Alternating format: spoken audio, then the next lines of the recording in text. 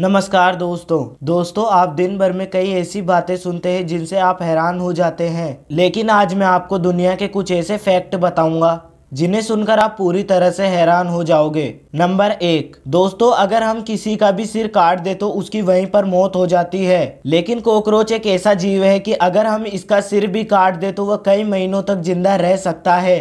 Number दो, दोस्तों, क्या आपको पता है दुनिया का सबसे अमीर देश कौन सा है? कई लोग अमेरिका को सबसे अमीर देश मानते हैं, लेकिन नहीं, क्योंकि कतर नाम का देश दुनिया का सबसे अमीर देश है। नंबर तीन, दोस्तों, हमारे देश में एक दिन में कई घंटों की रात होती है, लेकिन आपको जानकर हैरानी हो सकती है कि नॉर्वे एकमात्र ऐसा देश है जहाँ सिर्फ़ 40 मिनट की रात होती है। नंबर चार। दोस्तों, आपको ये तो पता होगा कि गन रखना कानूनी तौर पर एक अपराध है, लेकिन क्या आपको पता है इसराइल में वहाँ की लड़कियाँ M sixteen A four rifle लेकर घूम सकती है?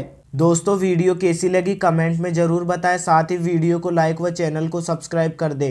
क्या मुझे इस वीडियो का पार्ट टू डालना चाहिए, कमेंट बॉक्स में ज़रूर बताएँ। वीडियो देखने के लिए शुक्रिया।